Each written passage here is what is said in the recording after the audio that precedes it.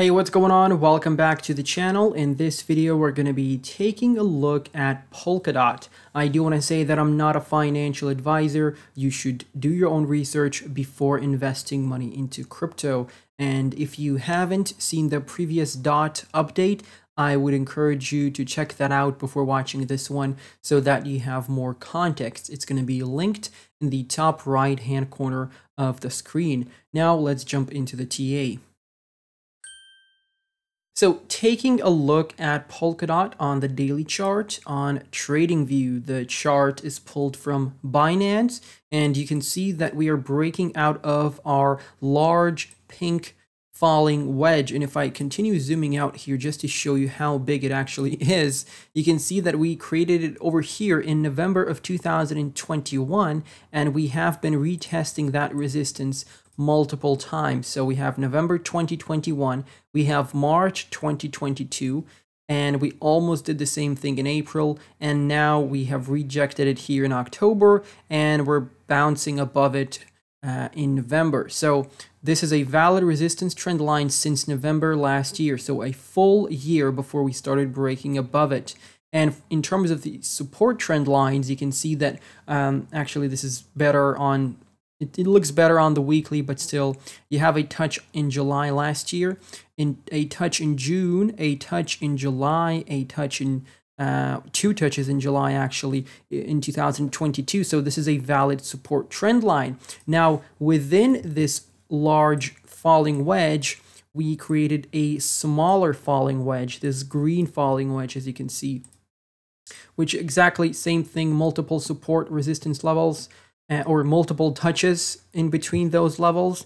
And finally, you started breaking above it, right? You saw the breakout here, a move to the downside, and another break above the pink trend line. So our technical target for now is going to be all the way up here. So that's where the pattern was created and that's going to and that's going to be at $9.35. So that is technically our first resistance level. That's our first technical target. Now obviously out of the large falling wedge our technical target is all the way up there at the all-time high prices. So we're probably not going to get there within the next couple of months.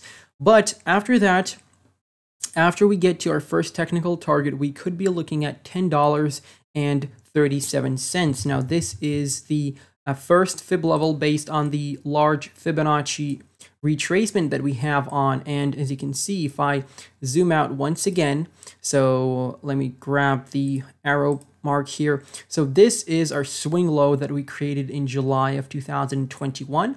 And this is the swing high that we created in November of 2021.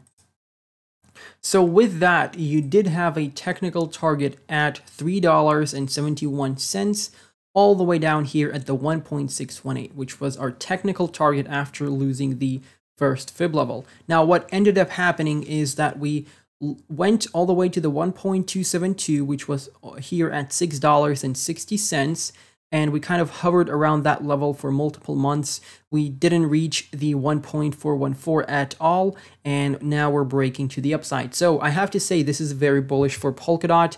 Crypto doesn't care about all the bearish news coming out of the Fed uh, and uh, interest rates, inflation data coming November 10th. Let's see how crypto markets react to that. But based on what we've seen already, the markets aren't going to drop when we get the inflation data. But uh, we'll see. Never, you never know what's going to happen next, especially in crypto. So, like I said, next target $9.35.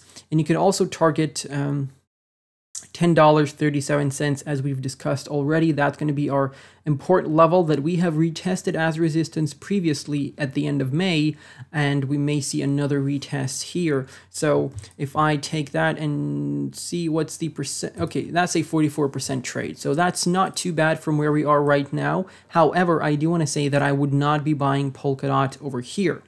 Now, I do have quite a bit of Polkadot, and my average buying price is somewhere around $7, I should say.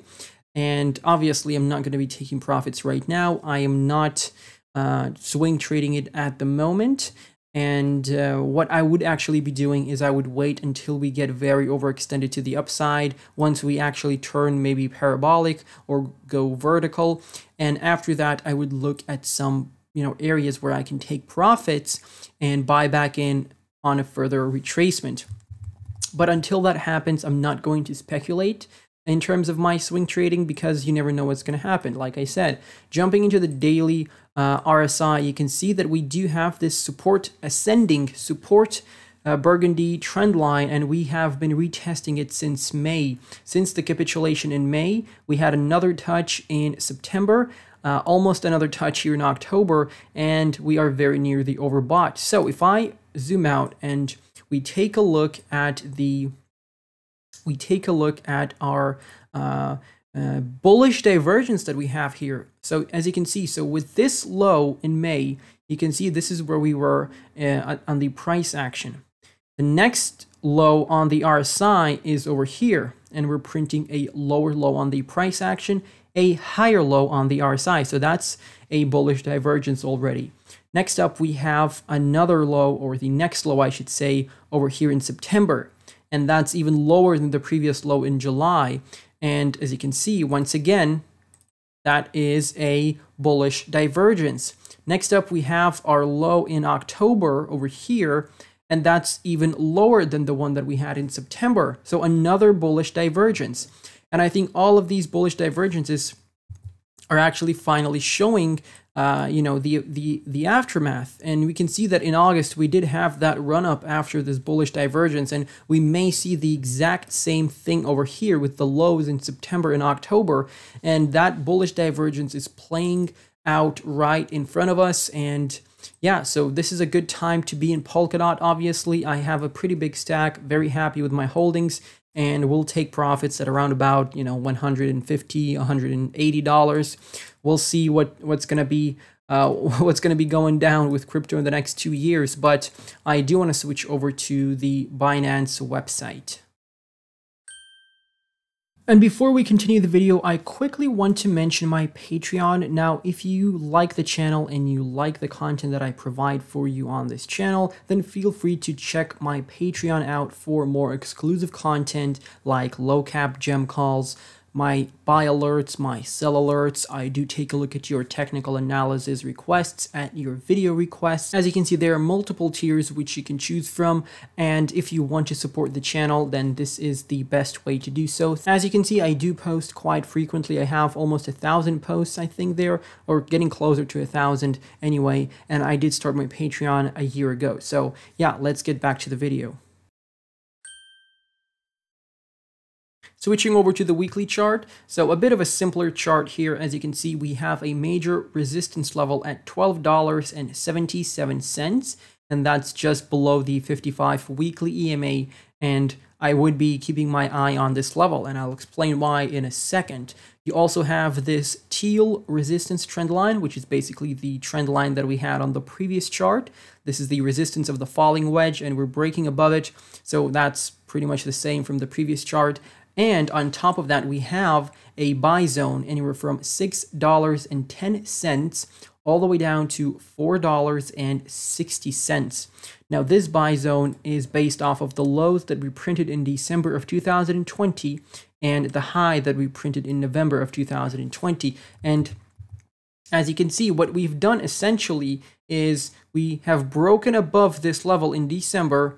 We went on this super strong bull market and right now, when, when you went back down, you actually retested this previous resistance as support this time, as you can see.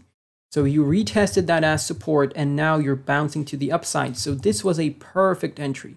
This was a perfect entry, and this is where I was buying into Polkadot, you know, seven, six dollars. I was buying up all of that as much as I possibly could. And technically, everything is happening the way it needs to happen right now. So uh, if we're looking at $12.77, that's a very nice 73% move uh, to the upside. We obviously have the 20 EMA. That's going to be a major resistance level going forward right now. We have that swing high that we created in August. So if we manage to break above that, uh, it's going to, you know, things are going to be looking good for Polkadot. If I take the swing low here and I take the swing high with a fib retracement, you get the 1.618 target at $13.41. Now, why is this $12.77 a level important because this is the low that we printed here in August of 2021. So this held us as support here during the pullback in summer of 2021. Then we had the the move to the upside, the final leg of the bull market, and from there we actually capitulated obviously. So what is happening here is we are breaking to the upside and we may retest this level as resistance now since it is above us Thus, it's considered a resistance level. So we may come back to that level to retest it as resistance, and then we may have a move to the downside, potentially retesting this $9.35 level. And from there, we may have another bounce to the upside. No one knows how it's going to play out, but a lot of projects have done the exact same thing. For example, Elrond. We had this low for Elrond the same way we did here during the last year's summer. Then we lost it in spring of 2022. And in August, what actually happened is Elrond went all the way up here to this level, retested that, and went back down. So Polkadot hasn't done that. Polkadot wasn't that bullish in August, right? It did have a nice move to the upside, not as quite as bullish as some of the other coins and we haven't retested that level yet, so it may come within the next couple of weeks during November. So let's see what happens. Let's all stay patient. Don't get crazy with your swing trades. You know, we are still uh, relatively oversold on the weekly. You can see you're sitting at the index of 40, which is not that high at all. And we do have a, our basically our next resistance level on the weekly RSI would be here because you have a touch there in May last year, you have a touch there in March, and you have a touch there in December of 2021. So this is going to be an important level for us to break above. So let's see what happens. Stay, stay patient, okay? I'm not going to be swing trading anything if we're breaking to the bull market, which I highly doubt that. But even if we're doing that, let's not sell too early and, you know, stay behind with our cash. Let's stay with our crypto and move forward to the bull market. Thank you all for watching. If I missed out anything important on the charts, please let me know down below in the comment section. And I am going to catch you in the next one. Goodbye and good night.